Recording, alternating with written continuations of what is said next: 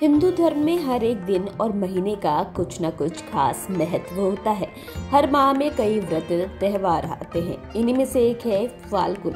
आपको बता दें कि हर साल की तरह फाल्गुन शुक्ल पक्ष की द्वितीय तिथि को फुलेरा दूज मनाई जाती है।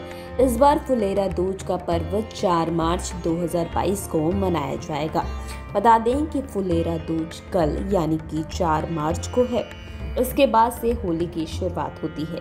फुलेरा दूज से मथुरा में होली की शुरुआत हो जाती है और इस दिन ब्रज में श्री कृष्ण के साथ फूलों के संग होली खेली जाती है।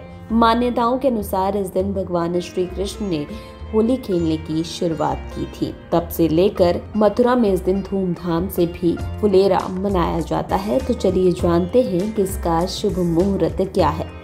पंचांग के अनुसार इस साल फाल्गुन मास के शुक्ल पक्ष की द्वितीय तिथि तीन मार्च, गुरुवार को रात नौ बजकर छत्तीस मिनट से शुरू होगी और चार मार्च, शुक्रवार को रात आठ बजकर पैतालीस मिनट पर समाप्त होगी। ऐसे में फुलेरा दूज को उदया तिथि को ध्यान में रखते हुए चार मार्च को मनाया जाएगा।